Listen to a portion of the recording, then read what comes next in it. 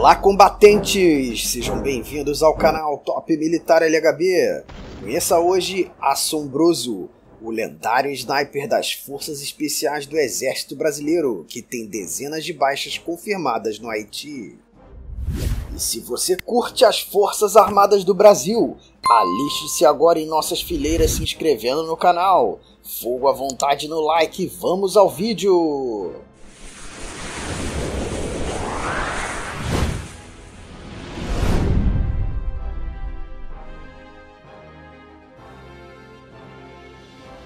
No ano de 2001, Jean Bertrand Aristide venceu as eleições presidenciais no Haiti, porém menos de 10% da população votou. Por isso, a oposição negava-se a aceitar o resultado. Então, em fevereiro de 2004, uma insurreição armada liderada pela oposição e levada a cabo por ex-militares das Forças Armadas haitianas surgiu na cidade de Gonaives, e rapidamente as forças rebeldes começaram a ocupar a todas as cidades importantes do país, quase sem nenhuma resistência, pois o Haiti tinha desmobilizado suas forças armadas em 1995. A insurreição armada levou à renúncia do presidente Aristide e a sua fuga para o exílio, o que levou a ONU a criar ainda naquele ano a MINUSTAH, Missão das Nações Unidas para a Estabilização no Haiti uma força de imposição de paz liderada pelo Brasil e que atuou no país entre 2004 e 2017, e que, pelo menos nos seus cinco primeiros anos de atuação, as tropas da ONU se envolviam em encarniçados confrontos quase que diários com as várias guerrilhas insurgentes que se formaram naquele país. É neste cenário de guerra caótico que um excepcional operador das Forças Especiais Brasileiras passa a ser o maior pesadelo das guerrilhas insurgentes haitianas. Comparado a uma assombração que ninguém pode saber de onde vai surgir, surge a lenda do sniper brasileiro Assombroso.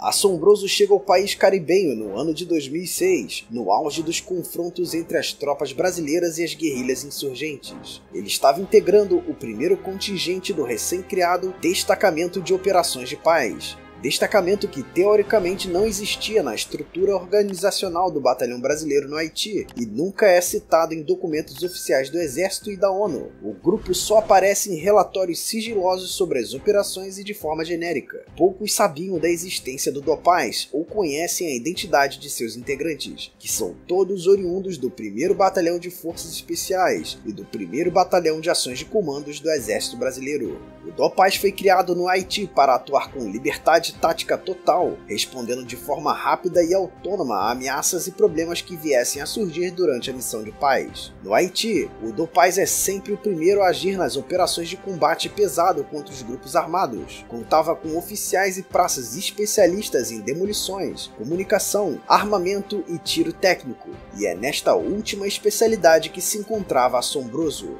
O lendário sniper brasileiro foi o responsável direto por dezenas de baixas confirmadas entre as guerrilhas haitianas, se tornando o pavor dos seus inimigos. O número exato de baixas não foi divulgado para evitar críticas de organizações defensoras dos direitos humanos à atuação do exército brasileiro no Haiti, mas é confirmado que em apenas uma noite, mais exatamente em 22 de dezembro de 2006, o lendário sniper abateu sete guerrilheiros. Ressalta-se que ele participou de dois contingentes contingentes do Haiti em 2006 e 2010, ficando no total mais de um ano no país caribenho. A principal missão de Assombroso era proteger o avanço dos grupos de assalto do Dopaz durante as missões de ataque a fortificações inimigas defendidas com centenas de homens armados com fuzis e metralhadoras, tendo ele salvado a vida de dezenas de soldados, comandos e forças especiais durante essas missões. Assombroso teve um desempenho tão espetacular que foi retirado do Haiti para passar a ser instrutor do estágio de caçador de operações especiais do Exército Brasileiro, repassando assim os seus conhecimentos